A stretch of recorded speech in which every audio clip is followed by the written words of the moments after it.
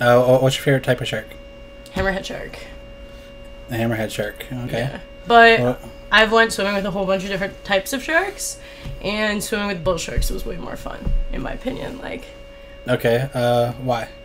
they're just more curious.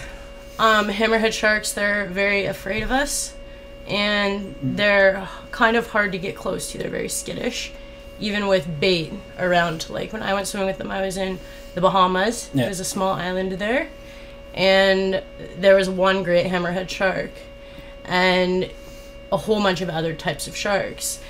But the hammerhead shark would stay kind of as far away from the people and the scuba divers as possible out of like this circle where like the bait was. Yeah, yeah.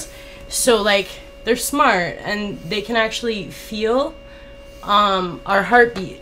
So they can tell like if you're afraid or like if you're excited to see Yeah. them and they've never killed a human ever.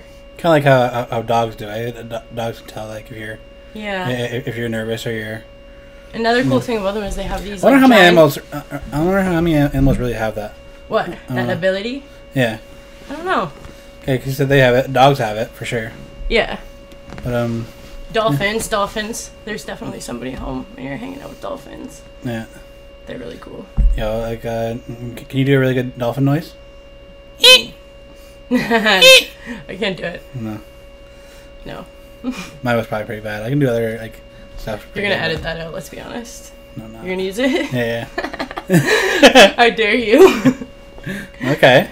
King Eddie G G Dolphin. It's all in there.